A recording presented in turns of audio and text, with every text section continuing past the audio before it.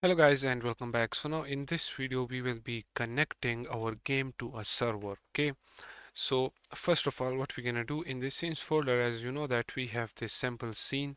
So what I want you to do is to simply rename this now to game or you can uh, name this as level 1 or map 1 or anything you want but I will just rename this to game.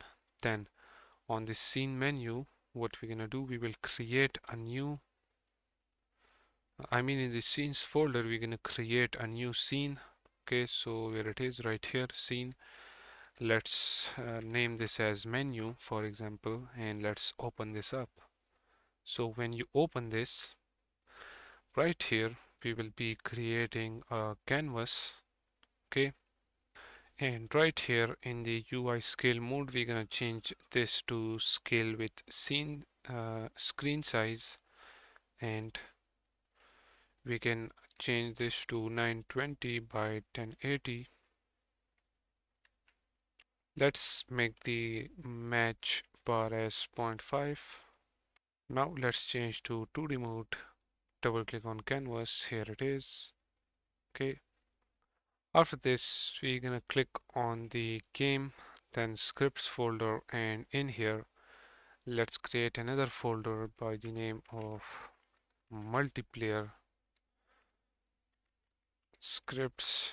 Okay and in here we're going to create a new C sharp script by the name of launcher. Then click on the canvas and drag and drop this script right here. Okay let me move it to the top. And now let's open this up. Okay let me close the other scripts for now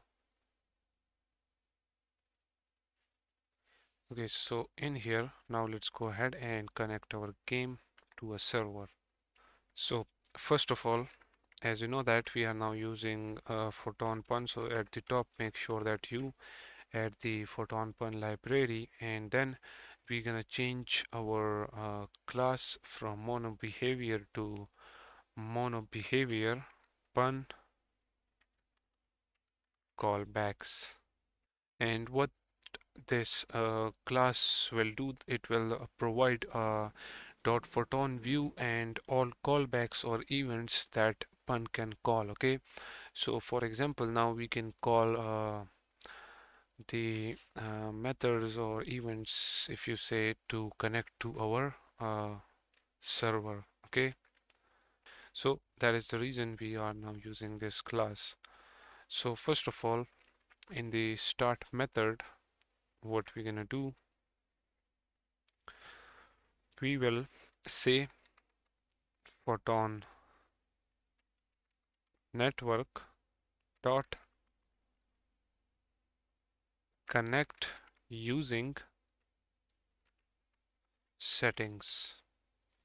Okay so you will be thinking where this uh, method come from. As I told you this come from this mono behavior pun callbacks okay that is the reason why we uh, put that there so that we can use the pun uh, default methods okay to connect to a server.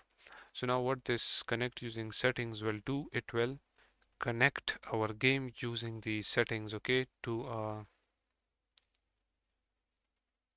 server okay? So for that if you click on resources and then this uh, photon file which it created when we connected to our app id okay?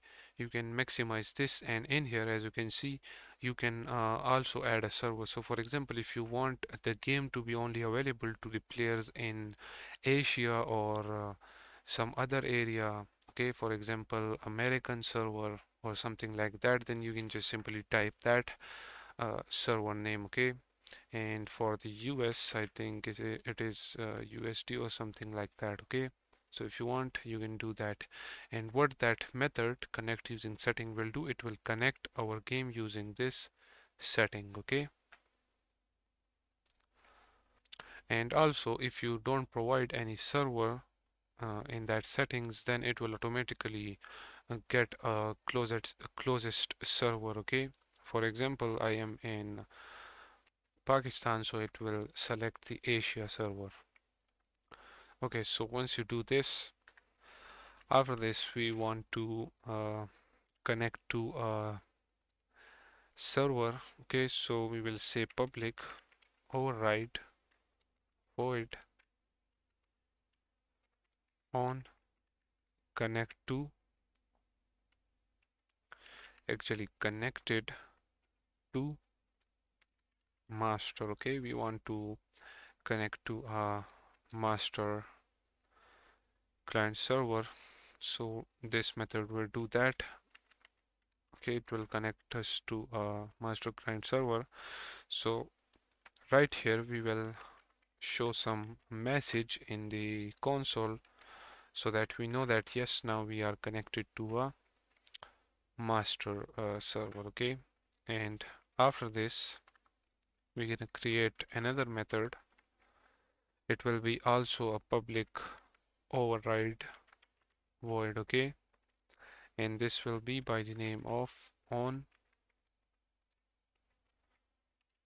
joined lobby okay? And using this uh, method we will connect our player to our lobby so for now we can just simply uh, print a message that joined lobby. Okay? So once it is connected to a server after that we're going to connect it to a lobby okay? And now we can call this on join lobby method right here. Okay? We can now save this. And before going back make sure that the O in the on is capital alright now if you click on the canvas the script is already attached as well. Now if you click on console and let's start the game you will notice now that when the game start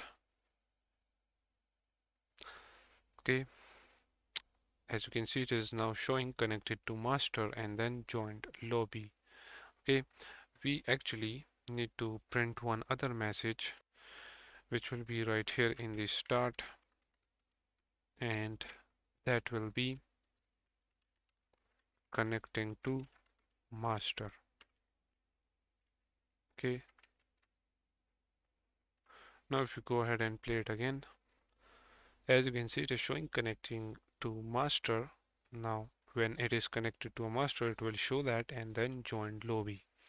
Okay so now we are connecting our game to a server. And in the next video we're going to continue our work on our multiplayer system